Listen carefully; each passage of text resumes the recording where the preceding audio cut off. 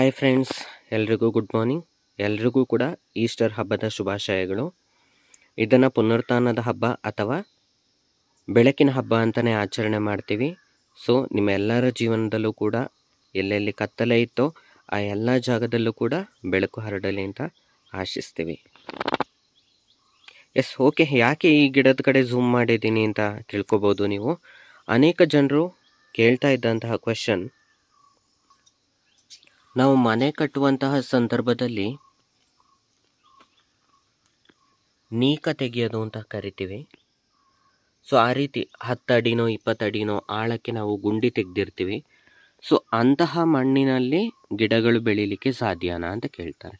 S ಇಲ್ಲಿ ನೀವು ನೋಡ್ತಾ ಇರ್ಬೋದು ಈ ಮಣ್ಣು. ಇದು ಕೂಡ ನೀಕ ತೆಗೆದಿರುವಂತಹ ಮಣ್ಣಾಗಿದೆ. ಅಂದರೆ ಜೆ ಸಿ ಬಿಯಿಂದ ಅಗ್ದಿರುವಂತಹ ಕೆಳಭಾಗದ ಮಣ್ಣು. ಸೊ ಇದರಲ್ಲಿ ಯಾವುದೇ ಫಲವತ್ತತೆ ಇರೋದಿಲ್ಲ. ಆದರೆ ಸ್ನೇಹಿತರೆ, ನೀವು ನೋಡ್ತಾ ಇರ್ಬೋದು, ಇಲ್ಲಿ ಉತ್ತಮವಾದಂತಹ ಫಲವನ್ನು ಕೊಟ್ಟು ಗಿಡ ಕೂಡ ಬಹಳ ಚೆನ್ನಾಗಿಯೇ ಕಾಣಿಸ್ತಾ ಇದೆ. ಅದೇ ರೀತಿ ಗಿಡ ಕೂಡ ದಟ್ಟವಾಗಿ ಹರಡಿಕೊಂಡಿದೆ. ಅದೇ ರೀತಿ ಈ ಭಾಗಕ್ಕೆ ಬಂದಾಗ ನೋಡ್ಬೋದು, ಬಾಳೆ ಗಿಡಗಳನ್ನ ಕಾಣ್ತಾ ಇದ್ದೀರಾ? ಸೊ, ಇವುಗಳು ಕೂಡ ನೋಡಿ ಎಷ್ಟು ಎತ್ತರಕ್ಕೆ ಬೆಳೆದಿದೆ, ಎಷ್ಟು ಸೊಂಪಾಗಿ ಬೆಳೆದಿದೆ ಅನ್ನೋದನ್ನ ನೀವು ನೋಡ್ಬೋದು. ಸೊ, ಇದು ಕೂಡ ಫೌಂಡೇಶನ್ ತೆಗೆದು ಉಳಿದಂತಹ ವೇಸ್ಟ್ ಮಣ್ಣಿನಲ್ಲೇ ಬೆಳೆದಿರೋದು. ಅದೇ ರೀತಿ ಈ ಕಡೆ ನೋಡ್ಬೋದು ನೀವು ಬೀನ್ಸ್ ಇದೆ ಟೊಮೆಟೊ ಇದೆ, ಹರಿವೆ ಸೊಪ್ಪು ಇದೆ. ಅದೇ ರೀತಿಯಲ್ಲಿ ಮೆಣಸಿನ ಗಿಡಗಳು ಕೂಡ ಇದೆ. ಅದೇ ರೀತಿ ಇಲ್ಲಿ ನೋಡಿ, ಇಲ್ಲಿ ಕೂಡ ಒಂದು ಪಿಲ್ಲರ್ ಇದೆ. ಆ ಪಿಲ್ಲರ್ನ ಕೆಳಗಡೆನೆ ಒಂದು ಹೂ ಗಿಡವನ್ನು ಬೆಳೆಸಿದ್ದೀನಿ. ಹುವಾಯಿಯನ್ ಸನ್ಸೆಟ್ ವೈನ್ ಅಂತ ಕರಿತೇವಾರೆ ಇದನ್ನು. ಇದು ಕೂಡ ಅಷ್ಟೇ, ಅದೇ ಫಲವತ್ತತೆ ಇಲ್ಲದಿದ್ದಂತಹ ಮಣ್ಣಲ್ಲೇ ಬೆಳೆದಿರುವಂತಹ ಗಿಡ. ಹಾಗೆ ನಮ್ಮ ಮನೆಯದು ಇನ್ನೊಂದು ಭಾಗಕ್ಕೆ ಬಂದರೆ ಇಲ್ಲಿ ನೋಡ್ಬೋದು ಮೆಣಸು ಗಿಡಗಳು. ಆಲ್ರೆಡಿ ಇದು ಹೂವಾಗಿ ಕಾಯಿ ಆಗೋ ಸ್ಟೇಜಿಗೆ ಬಂದಿದೆ. ನೋಡ್ಬೋದು ಇಲ್ಲಿ ಪೂರ್ತಿ ಮೆಣಸು ಗಿಡಗಳಿದೆ. ಬೇರೆ ಬೇರೆ ವೆರೈಟಿದು ಮೆಣಸಿನ ಗಿಡಗಳಿದೆ. ಇಲ್ಲಿ ನೋಡ್ಬೋದು ನೀವು ಮಣ್ಣನ್ನು ನಾನು ಹತ್ತಿರದಿಂದ ತೋರಿಸ್ತೀನಿ. ಯಾವುದೇ ಫಲವತ್ತೆ ಇಲ್ಲದ ರೀತಿಯಲ್ಲಿ ಕಾಣ್ತಾ ಇದೆ. ಕೆಂಪು ಬಣ್ಣದ ಮಣ್ಣು. ಕಲ್ಲುಗಳಿಂದ ಕೂಡಿರುವಂಥ ಮಣ್ಣು. ಸೊ ಅದೇ ರೀತಿ ಈ ಕಡೆ ಅರಿಶಿಣ ಕೂಡ ಇದೆ. ಸ್ವಲ್ಪ ಮುಂದೆ ಹೋದರೆ ಅಲ್ಲಿ ಕೂಡ ಗಿಡವನ್ನು ಬೆಳೆಸಿದ್ದೀವಿ. ಪಲಾವು ಎಲೆ ಅಂತ ಕರಿತೀವಿ, ಅದು ಕೂಡ ಇದೆ. ಈ ಭಾಗದಲ್ಲಿ ನೋಡ್ಬೋದು ನೀವು ಎಷ್ಟು ದೊಡ್ಡ ಬದನೆಕಾಯಿ ಆಗಿದೆ ಅನ್ನೋದನ್ನು. ಸೊ ಈ ವೆರೈಟಿ ತುಂಬ ಚೆನ್ನಾಗಿರುತ್ತೆ, ತಿನ್ನೋದಕ್ಕೆ ಟೇಸ್ಟಿಯಾಗಿ ಕೂಡ ಇರುತ್ತೆ. ಅಷ್ಟು ಮಾತ್ರ ಅಲ್ಲದೆ ನಮ್ಮ ಮನೆಯಲ್ಲೇ, ನಮ್ಮ ತೋಟದಲ್ಲೇ ಬೆಳೆದಿರೋದು ಅನ್ನುವಂಥ ಸಂತೃಪ್ತಿ ಕೂಡ ಇರುತ್ತೆ. ಸೊ ಈ ಗಿಡದ ಫೋಲಿಯೇಜನ್ನು ನೋಡಿ ಎಷ್ಟು ದಟ್ಟವಾಗಿ ಹರಡಿದೆ ಅಂತ. ಎಷ್ಟೋ ಜನ ಹೇಳಿದರು ಈ ಮಣ್ಣಲ್ಲಿ ಏನು ಕೂಡ ಬೆಳೆಯೋದಿಲ್ಲ ಅಂತ. ಆದರೆ ನೋಡಿ ಟ್ರೈ ಮಾಡಿದರೆ ಎಲ್ಲ ಕೂಡ ಸಾಧ್ಯ. ಖಂಡಿತವಾಗಲೂ ಅಸಾಧ್ಯವಾದದ್ದು ಯಾವುದೂ ಇಲ್ಲ. ಆದರೆ ನಮಗೆ ಸಾಧ್ಯ ಆಗದೆ ಹೋಗಿರ್ಬೋದು, ಬಟ್ ಟ್ರೈ ಮಾಡಿ ಖಂಡಿತವಾಗಲೂ ಸಾಧ್ಯ ಇದೆ. ನೋಡಿ ಇಲ್ಲಿ ಬದನೆಕಾಯಿ ಆಗಿದೆ. ಸೊ ಅದರ ವೆಯ್ಟನ್ನು ತಡಿಲಿಕ್ಕಾಗದೆ ಕೊಂಬೆ ಪೂರ್ತಿ ಬಗ್ಗಿ ಹೋಗಿದೆ. ಸೊ ಇಲ್ಲಿ ಮಮ್ಮಿ ಇದಕ್ಕೆ ಸಪೋರ್ಟಾಗಿ ಕೊಟ್ಟಿದ್ದಾರೆ, ನೋಡ್ಬೋದು ನೀವು. ಸೊ ನೋಡಿ ಯಾವ ಗಾತ್ರದಲ್ಲಿದೆ ಅನ್ನೋದನ್ನ ನೋಡಿ ಇದು. ನೋಡ್ಬೋದು. ಸೊ ಹೊಸ ಹೂಗಳು ಆಗ್ತಾ ಇದೆ.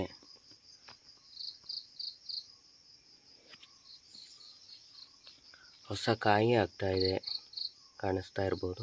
ಅದೇ ರೀತಿ ಈ ಬದಿಗೆ ಬಂದರೆ ನೋಡ್ಬೋದು, ಬೇಕಾದಷ್ಟು ಗಿಡಗಳಿದೆ. ಸೊ ಹೋಗೋಣ, ಅದ್ರ ಹತ್ರನೇ ಹೋಗೋಣ. ನೋಡಿ, ಇಲ್ಲಿ ಒಂದು ಹೂ ಗಿಡ ಇದೆ. ಬಟರ್ಫ್ಲೈ ಬುಷ್ ಅಂತ ಕರಿತೀವಿ ಇದನ್ನು. ಅದೇ ರೀತಿ ಇಲ್ಲಿ ಉದ್ದಕ್ಕೆ ಮೂರು ಗಿಡಗಳನ್ನ ಬೆಳೆಸಿದೆ. ಸೊ ಇಲ್ಲಿ ನೋಡ್ಬೋದು, ಬದನೆ, ಇದು ಬೀಜಕ್ಕೆ ಬಿಟ್ಟಿರುವಂಥದ್ದು. ಎಷ್ಟು ದೊಡ್ಡದಾಗಿ ಬೆಳೆದಿದೆ ಅನ್ನೋದನ್ನ ನೋಡ್ಬೋದು. ಅದೇ ರೀತಿ ಇಲ್ಲಿ ಹೊಸ ಕಾಯಿಗಳಿದೆ, ಹಬ್ಬಕ್ಕೆ ರೆಡಿಯಾಗಿದೆ ಇದನ್ನು ಕೂಡ ಇಲ್ಲಿ ನೀವು ನೋಡ್ಬೋದು. ಹೊಸ ಕಾಯಿಗಳು ಆಗ್ತಾ ಇದೆ. ಅದೇ ರೀತಿ ಇದನ್ನು ಕೂಡ ನೋಡ್ಬೋದು. ಎಷ್ಟು ಉದ್ದವಾಗಿ, ಎಷ್ಟು ದಪ್ಪವಾಗಿ ಬೆಳೆದಿದೆ ಅನ್ನೋದನ್ನ ನೋಡ್ಬೋದು. ಮತ್ತು ನೋಡಿ ಸ್ನೇಹಿತರೆ, ಎಷ್ಟು ಚೆನ್ನಾಗಿ ಬೆಳೆದಿದೆ ಅಂತ ಓಕೆ, ಒಂದು ರೌಂಡು ಝೂಮ್ ಔಟ್ ಮಾಡಿ ನೋಡೋಣ. ಎಷ್ಟು ಗಿಡಗಳಿದೆ, ಎಷ್ಟು ಚೆನ್ನಾಗಿ ಬೆಳೆದಿದೆ ಅನ್ನೋದನ್ನು ನೋಡೋಣ. ಮೆಣಸಿನ ಗಿಡಗಳು ಅದೇ ರೀತಿಯಲ್ಲಿ ಕೃಷ್ಣ ತುಳಸಿ ಕೂಡ ಇದೆ. ಇಲ್ಲಿ ಎಲ್ಲದಕ್ಕಿಂತ ವಿಶೇಷವಾದಂತಹ ಒಂದು ಗಿಡ ಅಂದರೆ ಹವಾಯಿಯನ್ ಅಥವಾ ಹುವಾಯಿಯನ್ ಸನ್ಸೆಟ್ ವೈನ್. ನೋಡ್ತಾ ಇರ್ಬೋದು ನೀವು ಇಲ್ಲಿ ಇದೊಂದು ಬಳ್ಳಿ, ಹಾರ್ಡ್ ಬಳ್ಳಿ. ಇದು ಕೂಡ ಅದೇ ಮಣ್ಣಿನಲ್ಲಿ ಬೆಳೆದಿರುವಂತಹ ಗಿಡ ಆಗಿದೆ. ಐ ಮೀನ್ ಬಳ್ಳಿ ಆಗಿದೆ. ಸೊ ಇದರ ಹೈಟ್ ಎಷ್ಟಿದೆ ಅಂತ ಹಾಗೆ ಸುಮ್ಮನೆ ನೋಡ್ಕೊಂಬರೋಣ ಬನ್ನಿ. ಎಸ್ ಇದು ಸೀಬೆ ಮರಕ್ಕೆ ಹಬ್ಬಿಕೊಂಡು ಬೆಳೆದಿದೆ. ಓಕೆ ಟ್ಯಾರೆಸ್ ಹನ್ನೆರಡು ಅಡಿ ಇದೆ ಅಂತ ಅಂದಾಜು ಮಾಡೋದಾದರೆ ನೋಡಿ ಹೂ ಎಲ್ಲಿ ತನಕ ಕಾಣಿಸ್ತಾ ಇದೆ ಅಂತ ನಿಮಗೆ. ಎಸ್ ಹತ್ತಿರದಿಂದ ನೋಡ್ಕೊಂಬರೋಣ ಒಮ್ಮೆ ಈ ಗಿಡವನ್ನು. ಎಸ್, ಇದೆ ಸೀಬೆ ಗಿಡದಲ್ಲಿ ಸೀಬೆ ಹಣ್ಣು ಕೂಡ ಆಗಿರೋದನ್ನು ನೋಡ್ಬೋದು. ಎಸ್, ಹಬ್ಬಕ್ಕೆ ಇರಲಿ, ಇದು ಕೂಡ ತೊಗೊಂಬಿಡೋಣ ಹಾಗೆ ಜೊತೆಯಲ್ಲೇ. ಎಸ್, ಇಲ್ಲಿ ನೋಡ್ಬೋದು ನೀವು, ಇದು ವೈನ್ ಸನ್ಸೆಟ್ ವೈನನ ಹೂಗಳು, ಅಂದರೆ ಮೊಗ್ಗುಗಳು. ಸೊ ಇದರ ಹೂವನ್ನು ನೋಡ್ಬೋದು ನೀವು, ಎಷ್ಟು ಚೆನ್ನಾಗಿ ಕಾಣುತ್ತೆ ಅಂತ.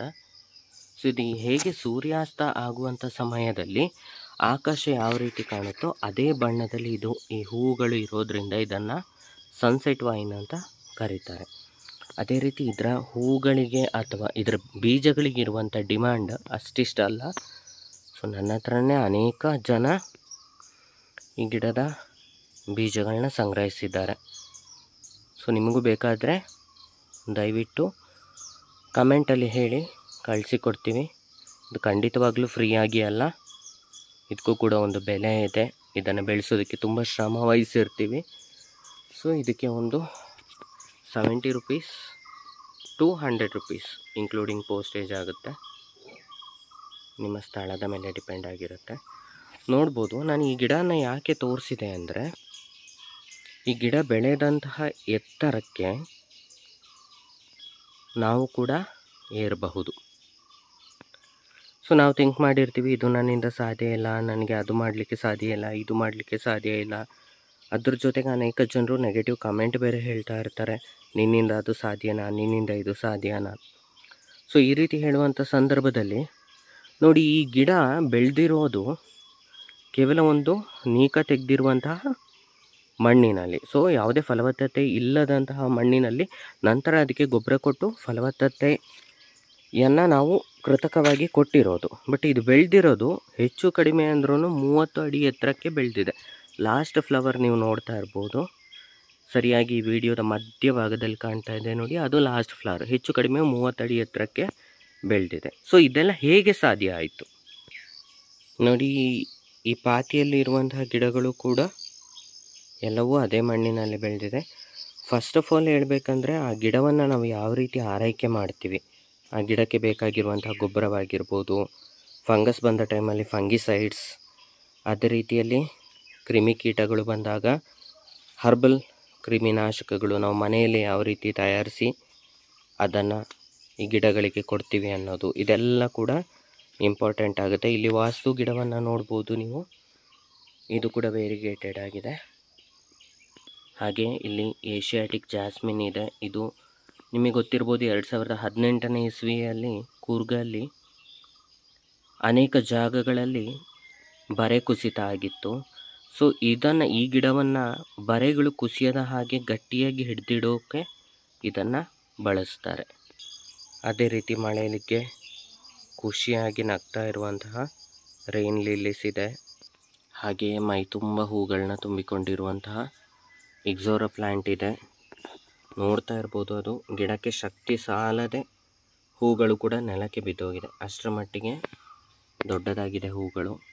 ಸೊ ಇದೆಲ್ಲ ಕೂಡ ಅದೇ ಮಣ್ಣಲ್ಲಿ ಬೆಳೆದಿತ್ತು ಸ್ನೇಹಿತರೆ. ಈ ಬದಿಯಲ್ಲಿ ಪರ್ಪಲ್ ಕ್ವೀನ್ ಅಥವಾ ಪರ್ಪಲ್ ಪ್ರಿನ್ಸಸ್ ಅಂತಲೂ ಕರಿತೀವಿ. ಇದನ್ನು ಮೆಲೆಸ್ಟ್ರೋಮಾ ಅಂತಾರೆ. ಮೆಲೆಸ್ಟ್ರೋಮೇಟಾ ಅಂತ ಕರೀತಾರೆ. ಸೊ ಈ ಹೂವು ಕೂಡ ಯಾವ ರೀತಿ ಬೆಳೆದಿದೆ ನೋಡಿ. ಈ ಗಿಡಗಳು ಯಾವ ರೀತಿ ಬೆಳೆದಿದೆ ನೋಡಿ. ಗಿಡ ತುಂಬ ಹೂಗಳಿದೆ. ಆದರೆ ಈಗ ಈ ಗಿಡವನ್ನು ಬೆಳೆಸಿರೋದು ಸಾಧಾರಣವಾದ ಮಣ್ಣಿನಲ್ಲೇ. ಇಲ್ಲಿ ನೋಡ್ತಾ ಇರ್ಬೋದು ಮೈ ತುಂಬ ಹೂವನ್ನು ಬಿಟ್ಟು ಈಗ ಆಲ್ರೆಡಿ ಬಾಡ್ತಾ ಇದೆ.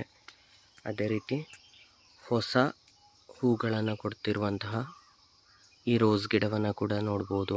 ಇದು ಕೂಡ ಬೆಳೆದಿರೋದು ಅದೇ ಮಣ್ಣಿನಲ್ಲಿ. ನಿಮಗೆ ಇನ್ನೂ ನಂಬಿಕೆ ಬಂದಿಲ್ಲ ಅಂದರೆ ಇಲ್ಲಿ ಒಂದು ಬರೆಯನ್ನು ನೋಡ್ತಾ ಇರ್ಬೋದು ನೀವು.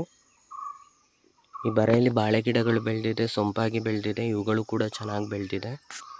ಒಳ್ಳೆ ಫಸಲನ್ನು ಕೂಡ ಕೊಡ್ತಾ ಇದೆ. ಅದೇ ರೀತಿಯಲ್ಲಿ ಇಲ್ಲಿ ಕೆಳಗಡೆ ನೋಡಿದರೆ ಮೆಣಸಿನ ಗಿಡವನ್ನು ಕಾಣ್ತೀರಾ? ಸೊ ಇದರಲ್ಲೂ ಕೂಡ ಮೈ ತುಂಬಿಕೊಂಡಂತೆ ಮೆಣಸಿನ ಕಾಯಿಗಳನ್ನ ಕೊಡ್ತಾ ಹೋಗುತ್ತೆ ಈ ಗಿಡ ಕೂಡ.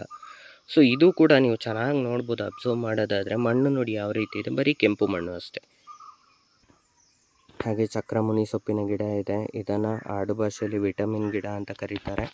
ಚಕ್ರಮುನಿ ಸೊಪ್ಪು ಅಂತಲೇ ಕರೀತಾರೆ. ಇದನ್ನು ಪಲ್ಯ ಮಾಡೋದಕ್ಕೆ ಹೇಳಿ ಮಾಡಿಸಿದ ಸೊಪ್ಪು. ಇದು ಕೂಡ ಚೆನ್ನಾಗಿ ಬೆಳೆದಿದೆ. ಆಲ್ರೆಡಿ ಕಟ್ ಮಾಡಿದ್ದೀವಿ ಹೊಸ ಚಿಗುರುಗಳು ಬರ್ತಾ ಇದೆ. ಓಕೆ ಫ್ರೆಂಡ್ಸ್ ಸೊ ಈಗ ನೀವು ನೋಡಿದ್ದೀರಾ ಯಾವ ರೀತಿ ಕೇವಲ ಒಂದು ಫಲವತ್ತಾಗಿರದ ಮಣ್ಣನ್ನು ಫಲವತ್ತಾಗಿ ಮಾಡಿ ಅದರಿಂದ ಯಾವ ರೀತಿಯಾಗಿ ಈ ರೀತಿಯ ಉತ್ತಮ ಉತ್ತಮ ಗಿಡಗಳನ್ನು ಬೆಳೆಸ್ಕೊಳ್ಳೋದು ಅಂತ.